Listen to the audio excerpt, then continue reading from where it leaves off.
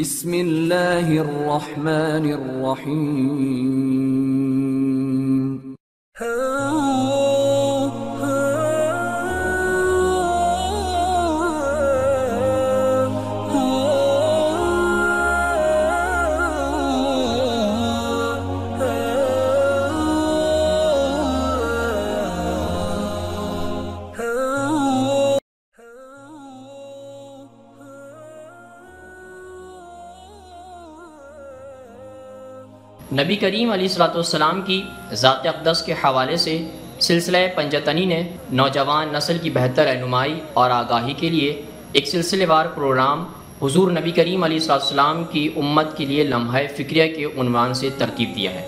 आज इस सिलसिले की अगली किस्त का हम आगाज़ करते हैं। जब हिंद बिनते अब्दुल्ला अहले बैत की आमद की खबर सुनी तो वो चादर ओढ़कर बाहर निकल आई।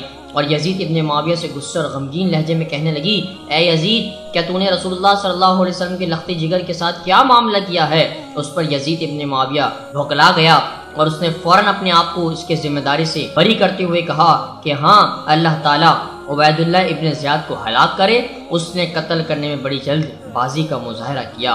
हिंद बिनते अब्दुल्ला ये सुनकर बेख्तियार रो पड़ी और कहा कि ऐसा कैसे हो सकता है कि ये सब कुछ हो रहा था और तेरे पास पल पल की खबर वहाँ से आ रही थी। मगर तू अनजान बन रहा है तो मुझसे तो झूठ कह सकता है, मगर अल्लाह की नज़र में तू रसूलुल्लाह सल्लल्लाहु अलैहि वसल्लम के नवासे, जिन पर अल्लाह की तरफ़ से हम दुरूद भेजते हैं, इससे रोज़ क़यामत क्या झूठ बोल सकेगा? अपनी बीवी की इस बात का यजीद इब्ने मावे के पास कोई जवाब नहीं था। वो सिर्फ़ मक्कारी से अपनी बेबसी का इजहार करता रहा, मगर वो अंदर से बहुत खुश था कि अब उसकी सल्तनत पूरी तरह उसके कब्जे में है और कोई अफसर उठाने की ज़रूरत नहीं कर सकेगा।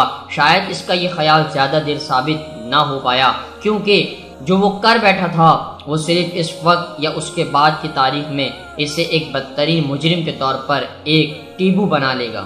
मोज़ दोस्तों आज की गुफ्तु का अख्ताम हुआ। इन कल आपसे फिर मुलाकात करेंगे। एक नए ज़िक्र और फ़िक्र के साथ अपना बहुत सारा ख्याल रखिएगा। अल्लाह हाफि